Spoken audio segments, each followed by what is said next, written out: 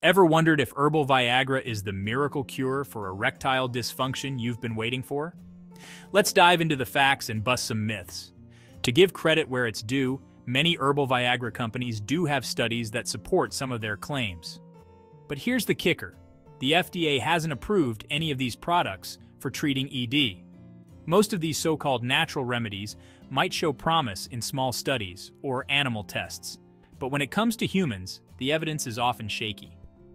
Take horny goatweed, for example.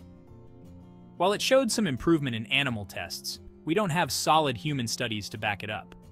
Then there's ginseng and ginkgo biloba.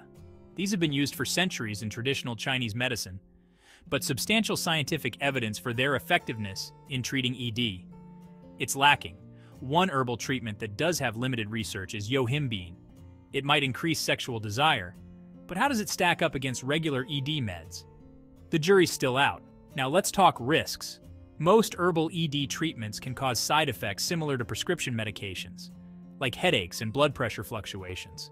Some can even cause serious issues like high blood pressure, fast heartbeat, and in rare cases, seizures. Yohimbine, for instance, can be particularly risky for people with certain conditions like epilepsy. In 2015, the FDA warned against buying so-called herbal Viagra because some products contained hidden drug ingredients like sildenafil, the active ingredient in Viagra. This can be dangerous, especially for men taking medications for diabetes, high blood pressure, or heart disease. Bottom line, gents, these herbal remedies aren't as safe as you might think. Unlike FDA-approved treatments, they haven't been thoroughly tested and vetted. So what should you do if you're struggling with ED? First, seek professional help from a urology expert or licensed medical provider. They can address your specific needs and help you find a safe, effective treatment.